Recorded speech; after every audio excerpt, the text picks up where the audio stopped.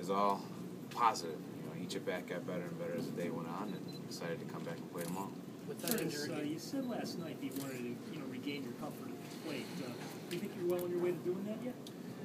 We're, we're better than we were yesterday. That's a good thing, you know. Um, I think just the bats need to be had. Right now, I'm looking at about 18 at bats total up to this point, and just got to get them.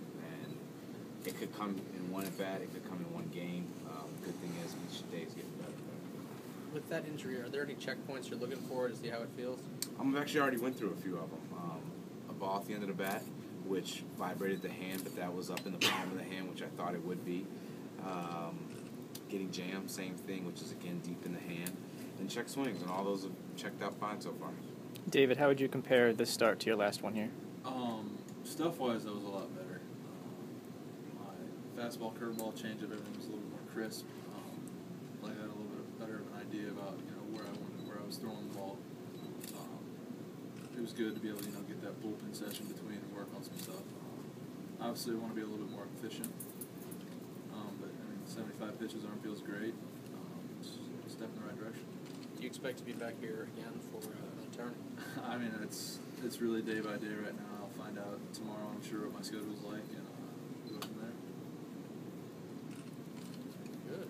How frustrating for both of you has it been to be injured for you, Curtis, for a significant amount of time, considering this the year where it seems like everybody's gotten injured?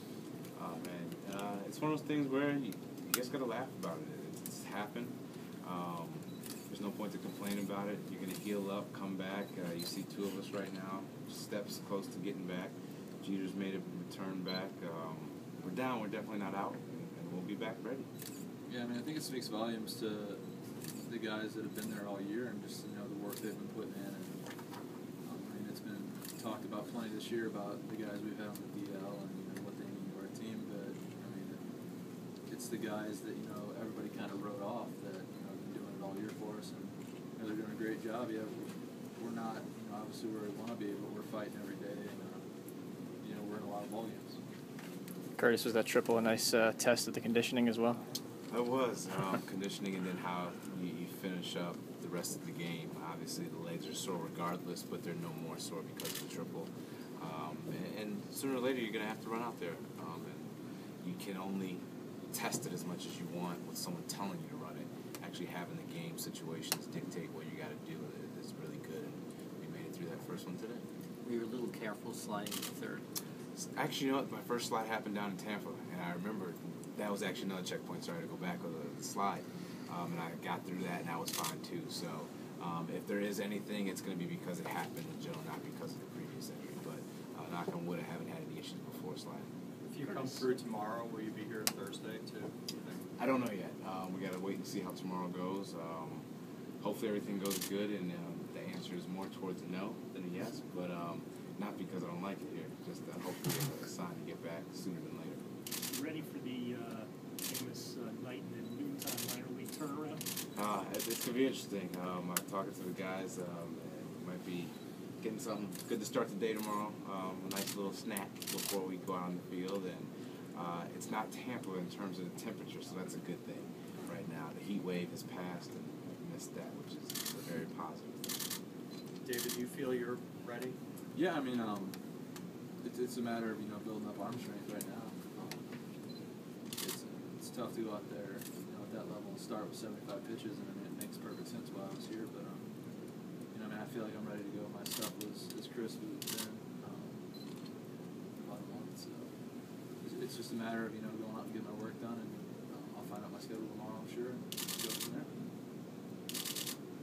You've spent so much of this year trying to get in the flow of this year. Have you given any thought at all about next year and last year of your contract? I just got to finish up this year, you know, control what I can, and that's right now getting back on the field. Wants to do that, helping this team win as many games as possible and get back to the postseason. Um, we've done it three years in a row, going short three years in a row, and we're looking to go further than we have, and, and that's my main goal and focus up to this point. Curtis, your thought on uh, Soriano coming to Bronx? I'm excited. You know, I thought I had met him at some point throughout my career, and I hadn't. Uh, played against the Cubs, but I haven't had a chance to interact with him. Everything I've heard has been positive. Uh, this is a guy that I remember watching do some great things with the Yankees organization, and to get him back in pinstripes, I think, is a very good thing, especially at this point in time in the season. You need someone that can handle all the pressure, and obviously he's done it up to this point, and it's a, a great piece for us, another bat for us, um, some winning experience for us. I'm excited to, to get there and talk to him and just be around him. How do you think it'll work uh, with the lineup juggling four outfielders? Oh, we had to do it before. You know, um, I only did it for a little bit, but uh, it's been one of the things that has happened, and, and Joe having the flexibility to move pieces in and out, left, right, center. All of us had the ability to move around, and there's a lot of experience out there, which is a good thing. Um, just everybody be ready to play. You never know when you're going to be needed or used, and um, any way to put a W up, I think that's going to be the, the biggest thing whenever that happens.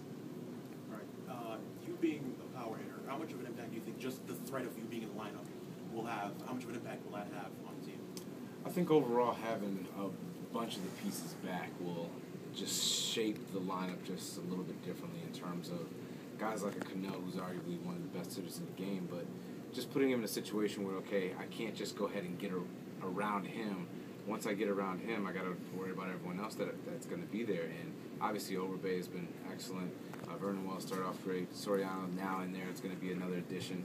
Jeter, whether it be before Jeter, I'm sorry, before Cano or a little bit earlier, is always going to be another thing that you got to keep in mind. You don't want to put these guys on base because if you have no space and now you got to pitch to Cano, he can do some damage. And the rest of us, including myself and Alex and Nix and all these other guys that are going to come back into the lineup that can do some damage once they're finally back in there. Rhythm wise, where do you feel you're at right now? Because you mentioned that before.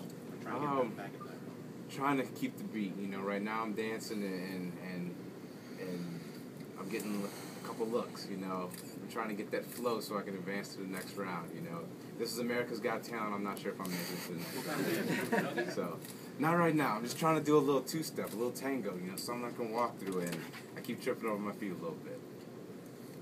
Don't break your finger when you trip. That's it. Hold on, fall down.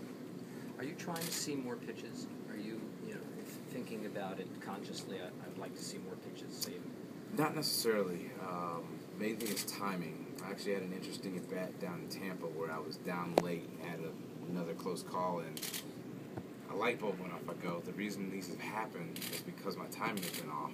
So I just got to do whatever I can to get my timing right. Because up to this point, it had never happened. But first game of the spring, obviously, you're working on your timing. Eight games back, you're still working on your timing. And then, sure enough, my first couple games back, this uh, second time the rehab, same thing, working on timing. So once I get that going, um, it shouldn't be uh, much of an issue to worry about. If I do get hit, I'll get hit in the spots that I normally do in the big parts of the body. All set, guys?